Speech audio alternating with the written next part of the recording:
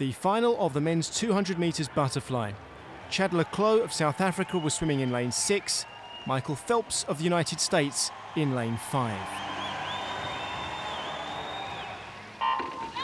le Clos won this event at London 2012, where he narrowly beat Phelps into second place. Phelps looked powerful in the first 50 metres, even though he touched the wall just behind Laszlo Cseh. Phelps took control of the race as they approached the halfway point.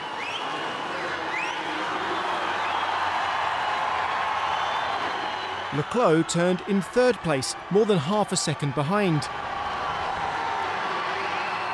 And Phelps was still leading as they turned for the final time. le Clos, in the green hat on the left, was keeping his eye on Phelps.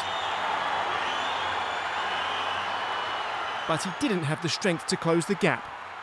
Phelps held everybody off, and he was number one in the 200 metres butterfly once again. Phelps had reclaimed the title he'd won in Athens in 2004 and in Beijing in 2008. This time le Clos finished outside the medal positions. Another gold medal for Michael Phelps of the United States. The silver medal went to Masato Sakai of Japan, and the bronze to Tamas Kenderesi of Hungary.